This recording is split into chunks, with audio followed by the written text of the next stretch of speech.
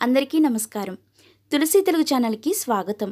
నన్ను చాలామంది అడిగారు భార్యాభర్తల మధ్య గొడవలు రాకుండా ఉండడానికి ఎలాంటి పూజలు చేయాలి ఎలాంటి వ్రతాలు చేయాలి అని చాలామంది అడిగిన వాళ్ళు ఉన్నారు వాళ్ళ కోసం ఈ వీడియో చేస్తున్నాను. భార్యాభర్తల మధ్య గొడవలు రాని వాళ్ళు ఎవరుంటారు చెప్పండి? ఏ భార్యాభర్తకైనా గొడవలు రావడం సహజం. కానీ ఆ గొడవ పెద్దగా చేయడమా చిన్నగా చేయడమా అనేది అసలు విషయం. అంటే భార్యాభర్తల మధ్య ఏదో గొడవ అవుతున్న సమయంలో. గొడవ అంటే ఒకరి మీద ఒకరు అరుచుకోవడమే కదా? భర్త కోపంగా భార్యని అంటున్నప్పుడు భార్య సహనంగా ఉండాలి. లేదా భార్య కోపంగా మాటలు అంటున్నప్పుడు భర్త సహనంగా ఉండాలి. ఎవరు కోపంగా మాట్లాడినా ఒకరు సహనంగా ఉండాలి.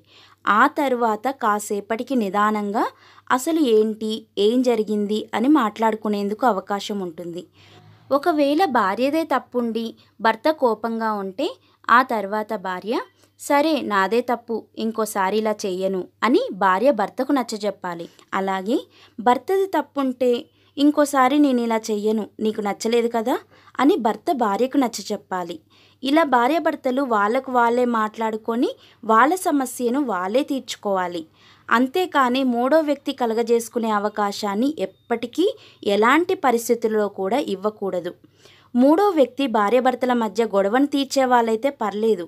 కానీ ఆ మూడవ వ్యక్తి ఆ గొడవను తీర్చకపోగా ఇంకా ముప్పై మందికి తెలిసే విధంగా ఆ చిన్న గొడవను పెద్దగా చేసేవారైతే వాళ్ళను దూరంగా ఉంచడమో లేకుంటే వాళ్ళకు దూరంగా ఉండడమో చేయాలి.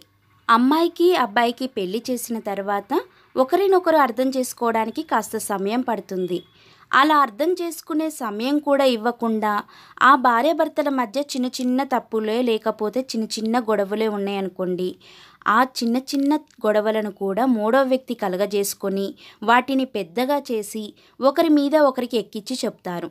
ఆ మూడో వ్యక్తి మాత్రం తన భాగస్వామితో చాలా చక్కగా కలిసి ఉంటారు.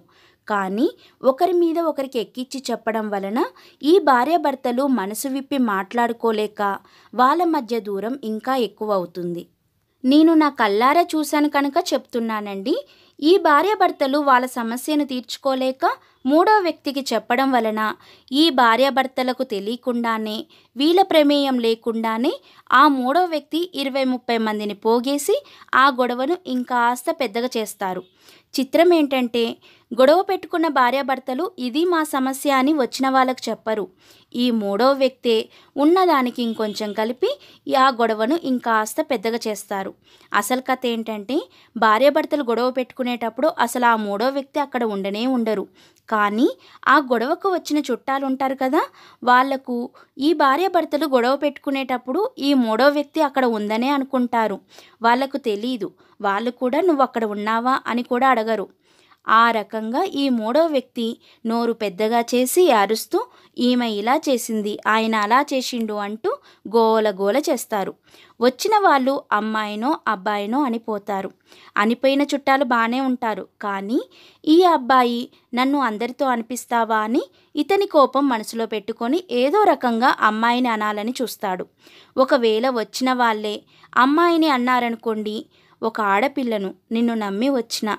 అందరి ముందు ఆడపిల్లనని కూడా చూడకుండా ఇలా అందరి ముందు అవమానించినట్టుగా అందరి ముందు నిలబెడతావా అని ఈ అమ్మాయి అబ్బాయి మీద కోపం తెచ్చుకుంటుంది.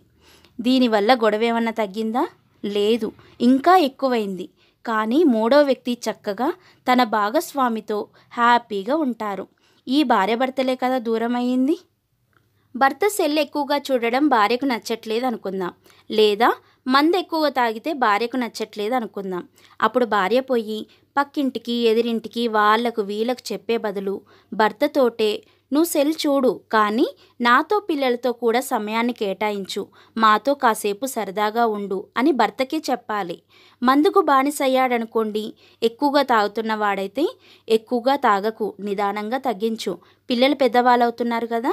చుట్టాల వాళ్ళు మీ ఆయన ఎక్కువగా తాగుతాడంట కదా అంటే నాకు చాలా బాధ అవుతుంది ఓకే బాధపడితే నేనే బాధపడతా. కానీ మన పిల్లలు ఆ మాటలు విని బాధపడుతున్నారు. మందు తాగడం కాస్త తగ్గించండి అని భర్తకే చెప్పాలి. అలాగే భర్త కూడా. భార్య ఎక్కువగా ఖర్చు పెట్టడము అతిగా పక్కింటికి ఎదిరింటికి వెళ్ళి మాట్లాడడము సీరియల్స్ ఎక్కువగా చూడడము ఇలా ఏదైనా నచ్చకపోతే నా భార్య ఎక్కువగా ఖర్చు పెడుతుంది సీరియల్స్ ఎక్కువగా చూస్తుంది అని హేళన చేసినట్టుగా బయటి వాళ్ళ ముందు అస్సలు అనకూడదు. భార్యకు నచ్చినట్టుగా భర్త ఉండాలి భర్తకు నచ్చిన విధంగా భార్య ఉండాలి. అంతేకాని మూడో వ్యక్తిని రాణిస్తే ఆ భార్యాభర్తల జీవితం ఆగమాగం గందరగోళం. మన హైందవ సాంప్రదాయంలో ప్రపంచ దేశాలన్నీ కూడా మన దేశానికి నమస్కరిస్తున్నాయి. మన హిందూ వ్యవస్థకి ఇంత ఆదరణ పెంపొందించడానికి ప్రధాన కారణం మన హిందూ సాంప్రదాయంలో ఉండేటువంటి వివాహం. ఎక్కడో పెరుగుతారు ఎక్కడెక్కడో జీవితాన్ని ప్రారంభిస్తారు. పెళ్ళి అనే రెండు అక్షరాలతో ఒకటిగా నిలిచే ఆడ మగ. జీవితాంతం ఒక్కదాటిపై నిలిచి తమ జీవితాన్ని సార్థకం చేసుకుంటారు. ఇంత గొప్ప వ్యవస్థ మన హిందూ వ్యవస్థ. ఈ హిందూ వ్యవస్థలో వివాహానికి ఉండేటువంటి ప్రాముఖ్యత అంత గొప్పది. అటువంటి వివాహాలు నేటి కాలంలో చాలామంది చిన్న చిన్న మనస్పర్ధల వల్ల విడిపోతున్నారు. భర్త అనురాగాన్ని సంపూర్ణంగా పొందాలి. భార్యాభర్తలు ఒకరినొకరు అర్థం చేసుకోవాలి. కష్టాలలో సుఖాలలో ఒకరినొకరు తోడుగా ఉండాలి. అలాగే భార్యాభర్తల మధ్య ఎలాంటి బాధలు రాకుండా ఉండాలి అంటే ఆ దైవశక్తి కూడా కావాలి.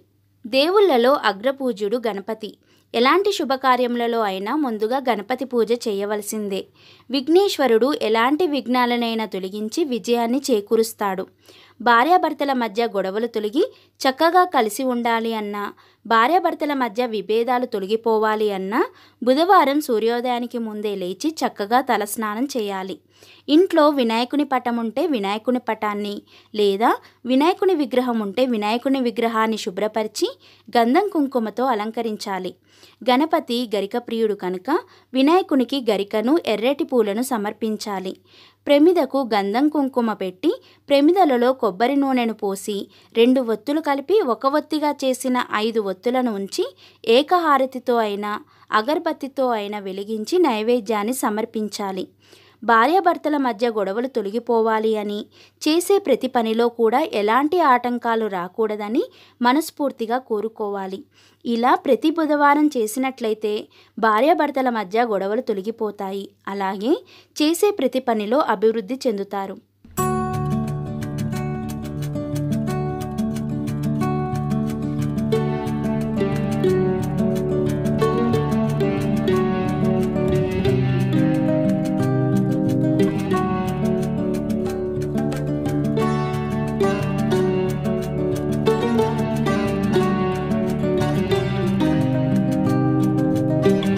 వీడియో కనుక మీకు నచ్చినట్లయితే లైక్ చేయండి నా ఛానల్ని సబ్స్క్రైబ్ చేయండి.